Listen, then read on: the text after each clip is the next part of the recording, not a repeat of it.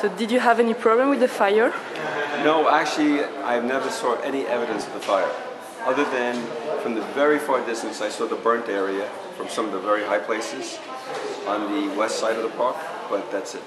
There was no, there was no evidence, there was no smoke, there was no smell, nothing. Would you still recommend to other tourists to come and visit the park?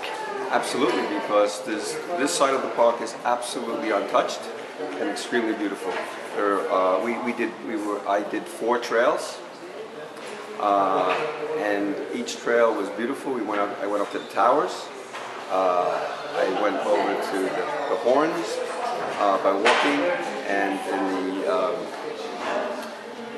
a, a ride with the horses in the valley, and then a short ride to Sierra, a short walk Sierra. It was all very beautiful. Each, the amazing part about the park is that each, as you're walking, there are, every view is different. It's, it's, it opens up a different view.